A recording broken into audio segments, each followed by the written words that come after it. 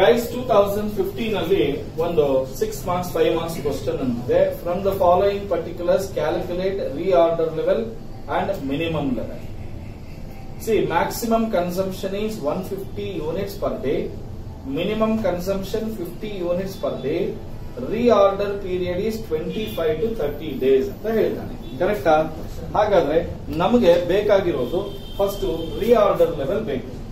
Maximum consumption ಎಷ್ಟಿದೆಯಪ್ಪ? One fifty units ಇದೆ.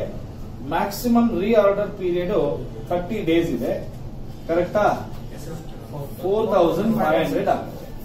ಕರೆಕ್ಟಾ ಇನ್ನೇನು ಕೇಳಿದಾನೆ? ಮಿನಿಮಮ್ ಲೆವೆಲ್ ಕೇಳಿದ್ದಾನೆ ಮಿನಿಮಮ್ ಲೆವೆಲ್ಗೆ ರೀಆರ್ಡರ್ ಪೀರಿಯಡ್ ಬಂದು ಲೆವೆಲ್ ಬಂದು four thousand five hundred average consumption ನಮ್ಗೆ ಕೊಟ್ಟಿದ್ದಾನ?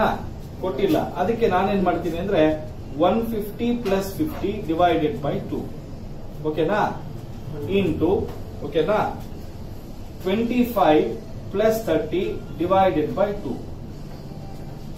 ಅಂದ್ರೆ ಆವರೇಜ್ ಬೇಕು ಅಂದ್ರೆ ಏನ್ ಮಾಡಬೇಕು? Minimum plus maximum divided by two ಕರೆಕ್ಟಾ ಸೊ ಈಗ ಇದಕ್ಕೆ ಫ್ಲಾರ್ ಬ್ರಾಕೆಟ್ ಹಾಕ್ಬಿಡ್ತೀನಿ ಈಗ four thousand five hundred minus one fifty two hundred divided by ಅಂದ್ರೆ ಹಂಡ್ರೆಡ್ ಬರುತ್ತೆ.